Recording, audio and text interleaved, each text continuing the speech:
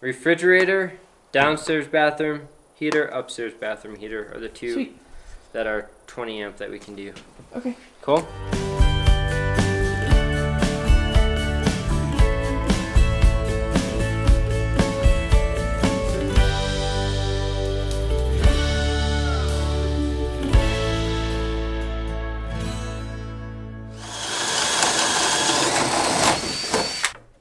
In the last video you guys saw, we finished up all of the supply lines for our plumbing, so now it's time to move on to electrical.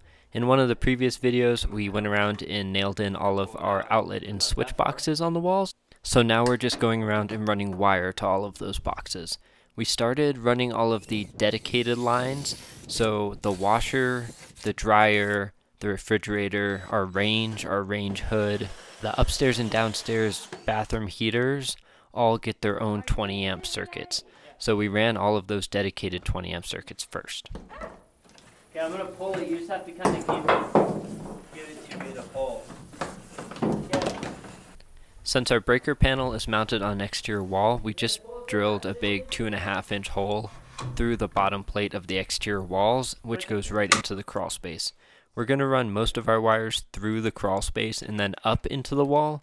That way we're not boring holes in all of our studs. Um, and it will just look a little cleaner on the walls. And if we ever do need to add wire, change something out, um, or replace anything or repair anything, it's going to be really easy to access because it's all in that crawl space.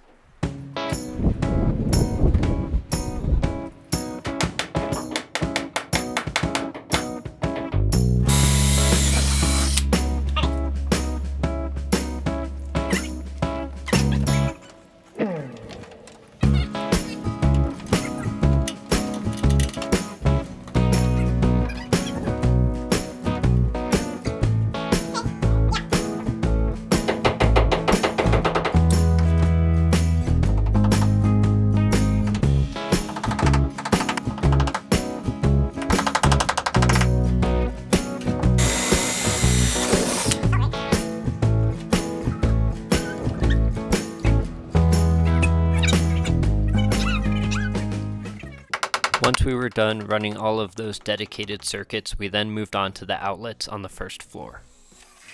As you can see, the outlets have two cables running into each of them. One gets power from the previous outlet, and then one transfers that power to the next outlet in line. I'm going to talk a lot about how we're actually wiring the boxes and how we're hooking everything together in a later video, so make sure you stay tuned for that.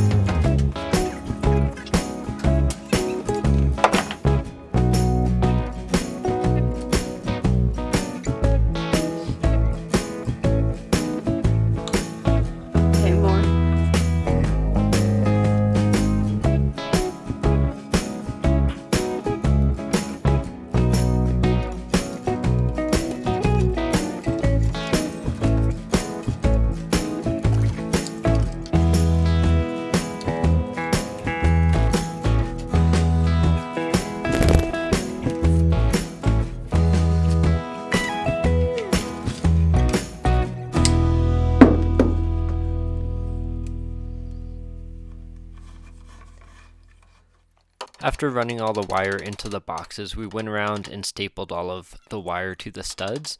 So this particular wire needs to be secured within 6 inches of a box. So we have a staple really close to the box and then every 4 feet after that it has to be secured as well. In the living room and kitchen area, we don't have to jump from interior walls to interior walls, so we did just drill holes through the exterior studs for all the outlets. To keep the holes at the same height, I just drilled at the height of my knee. This just kept the wire looking nice in the wall.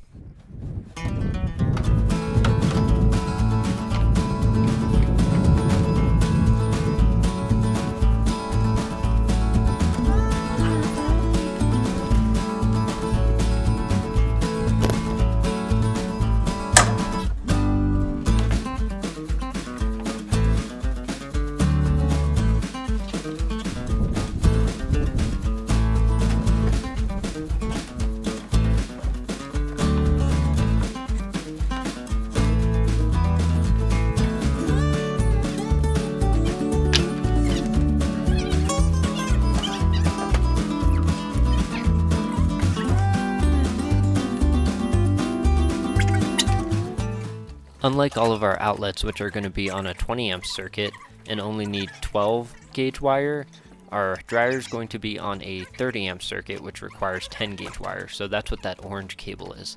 The only other thing in our house that will require a larger gauge wire like that is going to be our mini split AC system which will also require a 10 gauge wire. So while we are at the store we got our bathroom vent fans. This is the vent fan. It looks like we just put a couple screws and nails in to the joist and then it sticks out however much for drywall, half an inch, and then you can slide the cover over it. It has an output right here for the actual air to go through. In addition to the vent fans, we got our recessed can lighting. So yesterday we put in all of the outlets and we got all the outlets wired downstairs, but we kind of had to stop there because we didn't have any of the can lights in place yet to be able to wire the can lights up. So now that we have these lights, we can go ahead, install these, and then we can go ahead and wire all of this up. Are you there? Um, yeah. Right. It's centered on what we want. Which should be the center of the line, right? Yeah, the center of the line. So Okay, you need to go to the window. need to go which way? This way. South. There? Yeah. Uh, when we're looking at what type of LED lights we want to go with, they do have slimline lights, which are basically just the thickness of the drywall itself. However, I think roughing those in would have been a little harder. So these ones were just installing the regular housings and then they have LED inserts that screw into them. So if we kick this one, keep that one all the way that way. We kick this one all the way that way. How much space do you have in between them? 67 inches. 67 inches would be right here, so we can do it right here and just push it all the way to this side. Yeah, let's do that.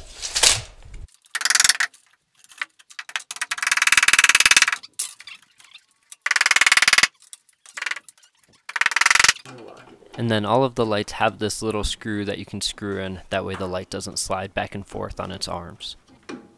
Our first three likes.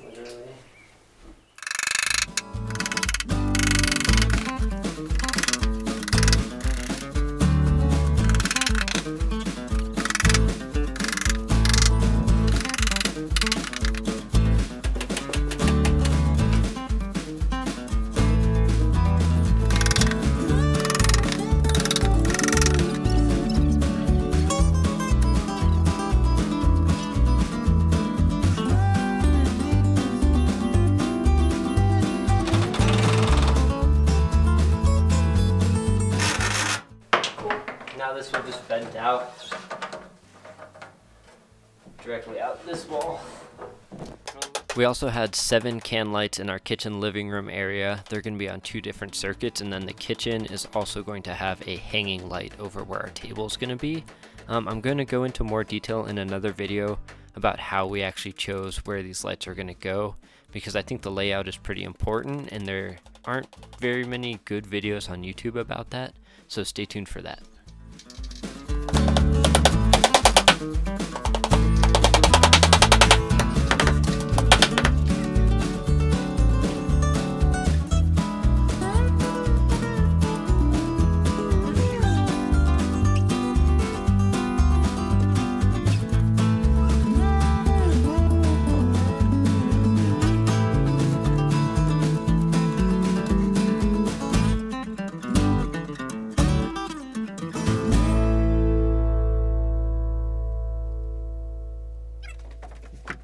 The next day, we came back and started running all of the wiring to the lights. We started by running all of the main power lines to the lights and the lines that would link switch box to switch box and give them power. We did this through the crawl space once again to just keep it nicer upstairs.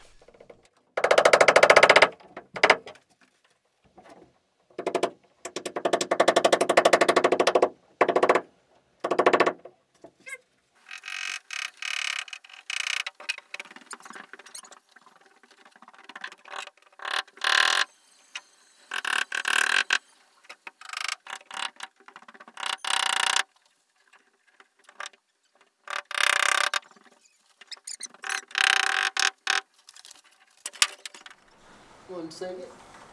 So we need more then? Okay, so Make a loop everywhere, right? yes, make it so it comes down from the. Right.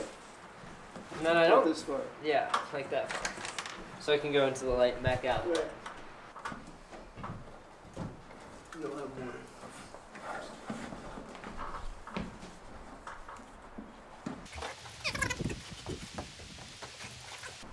Because you have a hot, the red one, which turns on the fan, then the black one turns on the light, and they're hooked up to separate things in there. Oh, It won't matter. Yeah. That would be fine because they'll both use the same neutral and the same So- ground. so is connect to this one ground. This is 12.3. Three. It's the same thing we're using for the three-way lights.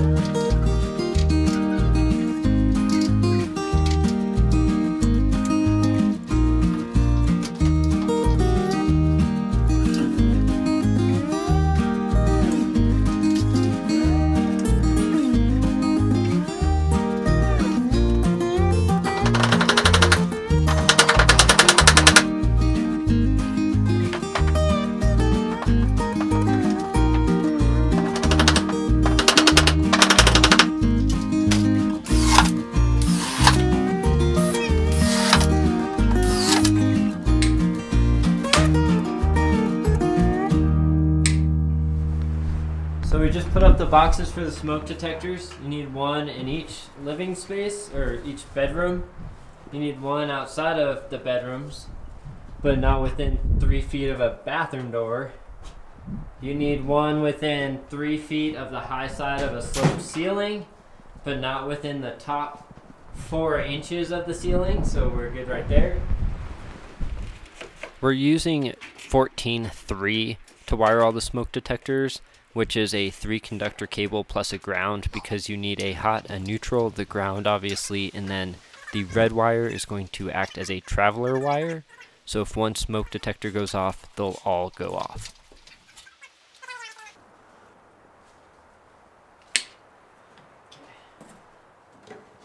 Perfect. We also made sure to run wire to where our outside lights are going to go. We're going to have one directly over the front door, and then we're going to have two outside the back door on either side.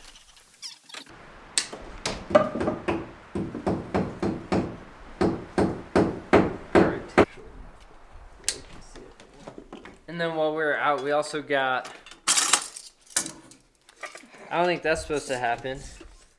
Thanks for watching, guys. I hope you enjoyed this video. We're going to have uh, two or three more really in-depth videos about how we're actually wiring all of the boxes together and how we're terminating all the wires at our panel. So stay tuned for those in the future. And make sure if you have any questions, you leave a comment below and hit that like button if you enjoyed it. And make sure to subscribe to our channel if you want to see more updates.